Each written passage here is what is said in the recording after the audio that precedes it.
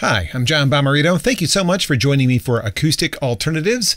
It's a weekly playlist that I put together to expose people to acoustic based music. And since I'm based in Michigan, I I realize that it doesn't affect anybody who's not living in Michigan when I mention concerts, but I'm just focusing on the concerts that are coming near where my home base is. So I will do that throughout the program, including music from artists who are playing my two sponsors, which are 20 Front Street in Lake Orion, Michigan, and Seven Steps Up in Spring Lake, Michigan. In fact, sometimes they share the same artists. In fact, the first artist that we're playing today is one of those.